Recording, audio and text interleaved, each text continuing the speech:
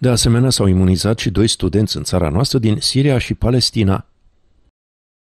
Mulțumim instituțiilor implicate în buna organizare și derularea procesului de vaccinare, partenerilor care au susținut această campanie, echipei medicale pentru profesionalismul de care a dat dovadă în imunizarea persoanelor și asigurarea asistenței medicale de urgență în aceste zile și, nu în ultimul rând, apreciem toți cetățenii care au dat dovadă de responsabilitate și care au ales să se vaccineze împotriva COVID-19 pentru a contribui la menținerea sănătății publice și la reducerea ratei de incidență epidemiologică, a transmis prefectura Maramureș.